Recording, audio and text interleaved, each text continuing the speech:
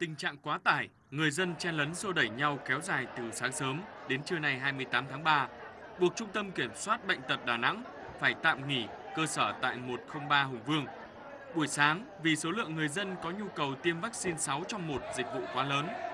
Điều đáng nói là ngoài người dân Đà Nẵng, có nhiều phụ huynh từ các tỉnh như Quảng Nam, Quảng Ngãi cũng có mặt ở Đà Nẵng để đăng ký tiêm vaccine 6 trong 1 dịch vụ.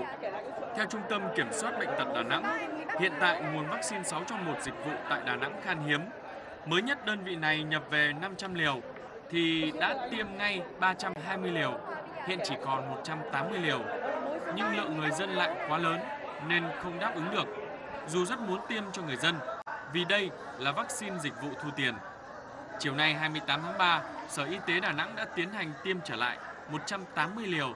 Hiện có cho 180 người dân đã đăng ký trước. Những người còn lại sẽ được thông báo khi vaccine được nhập về.